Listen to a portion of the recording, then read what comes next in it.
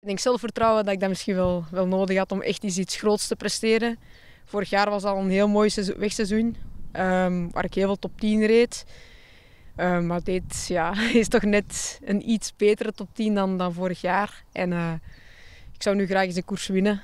Ook al is het, dat hoeft geen grote koers te zijn, maar gewoon een koers winnen. En dat zou, dat zou eigenlijk het begin moeten zijn van, van hopelijk meer overwinningen.